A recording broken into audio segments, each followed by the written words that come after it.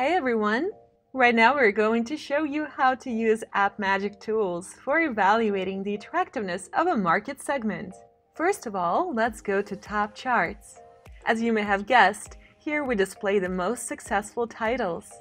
But what makes App Magic services stand out against our competitors is that each performance notable app has a set of genre, subgenre, setting, and art style markers. We call these markers tags.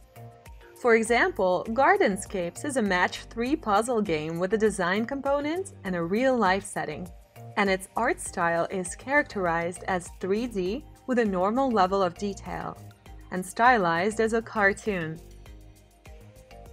A click on any of these tags will take you straight to the top charts of apps of this type of tag. We have manually classified over 80,000 apps by genre, subgenre, setting, and art style. And day by day, this number keeps growing.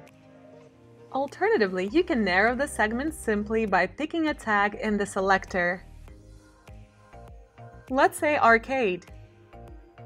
Since this niche is very diverse, I will choose the Idle Battler subgenre to focus the results.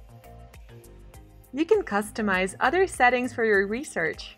For example, select any particular date, week, or month.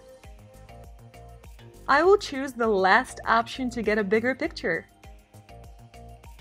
Now all top performing Idle Battler games for September 2020 are displayed right here.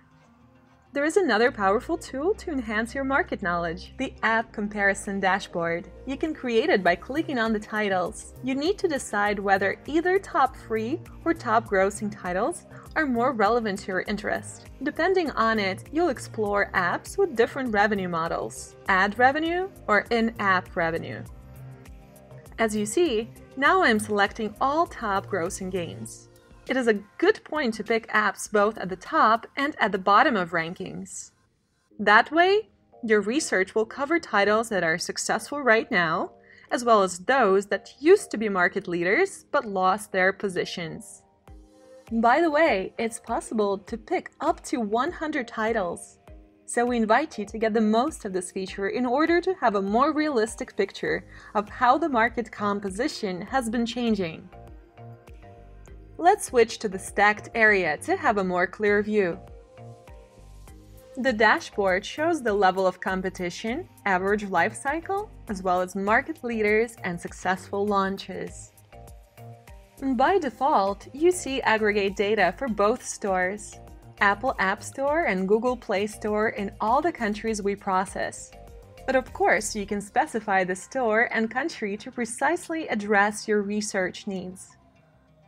Use the dashboard to compare the app's metrics. Now the graph displays the dynamics of monthly revenue shares for each app.